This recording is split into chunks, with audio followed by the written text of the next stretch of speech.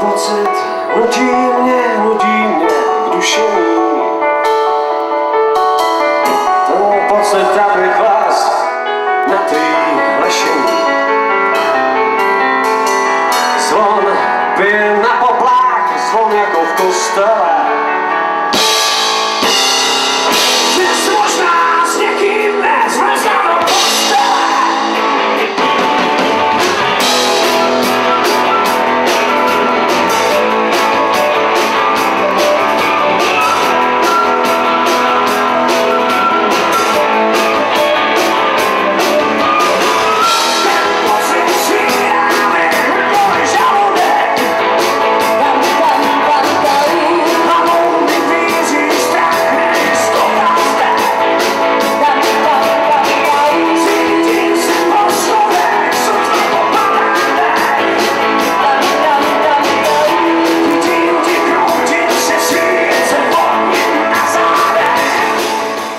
naše druhá deska.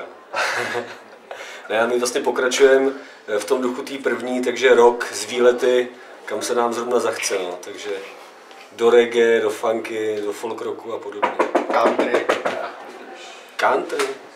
Country taky. Skládání těch písniček většinou vypadá tak, že tady Míra přinese nějaký nápad, eh, často docela blbej a my pak z toho společnýma silama vytvoříme nějakou písničku. Něco dobrýho. Ne, tak my to, my to hraní každopádně děláme pro radost, ale my bychom třeba strašně rádi byli komerční, akorát ho to nějak nejde. No, nějak extra cítit to teda není, no. Ale jako určitě, jestli ten trend na, jako nastává, tak, tak se ho užijem, protože přestat nehodláme. Rozhodně no, a myslím, že ta první deska celkem ohlasy měla, tak pevně věříme, že ta druhá bude mít taky. Tak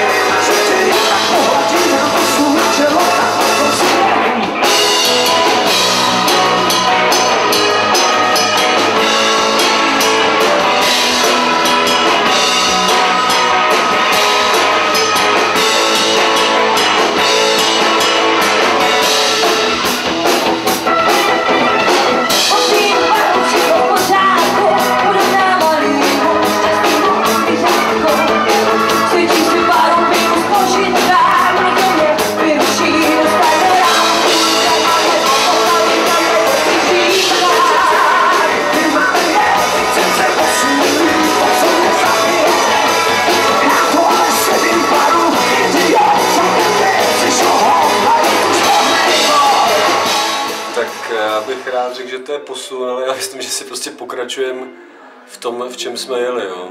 No, já bych řekl, že rozdíl oproti té první desce je hlavně v tom, že ta první deska byla hodně pozbíraná jako ze starších věcí.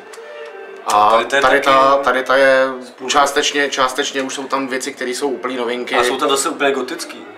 To je pravda. Je, to- tahle deska je, řekl bych, taková všeho chuť. Takhle?